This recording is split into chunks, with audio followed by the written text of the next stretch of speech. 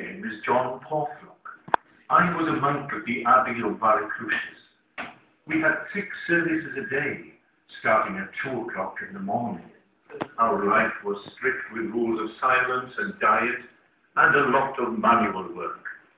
But I am one of the lucky ones, as I can read and write.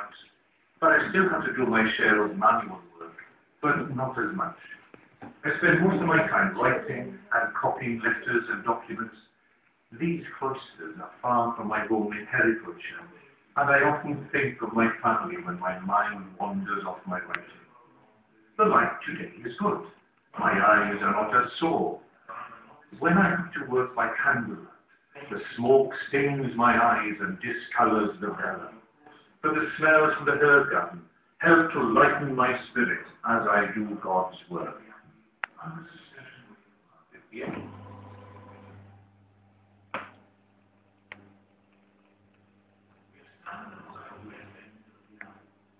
Yeah.